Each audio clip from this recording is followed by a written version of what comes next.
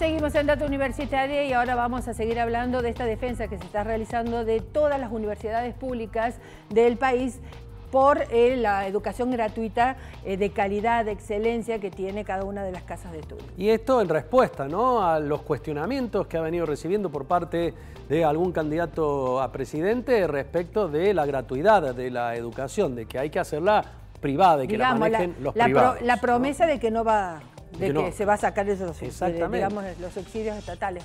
Por eso la movilidad que ha generado siempre la educación gratuita y de calidad eh, genera una especie de defensa por parte de importantes autoridades universitarias. Ya lo han hecho en otras facultades, ya lo hizo el Consejo Superior, sumamos ahora la Facultad de Psicología.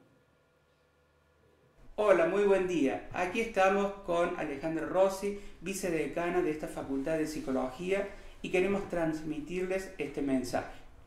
Desde que hemos asumido esta gestión, nos hemos propuesto trabajar con errores, con aciertos, para mejorar la calidad académica de nuestra facultad, promoviendo una verdadera inclusión, escuchando y respetando todas las voces que habitan esta casa de altos estudios.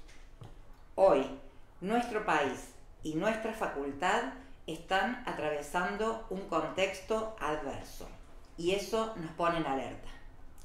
Creemos firmemente que el diálogo y el intercambio de ideas son las herramientas fundamentales para seguir construyendo la facultad, la universidad y el país que queremos, que nos merecemos y que soñamos.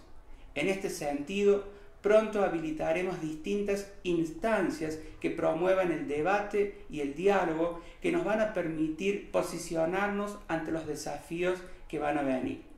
Nuestro horizonte es claro.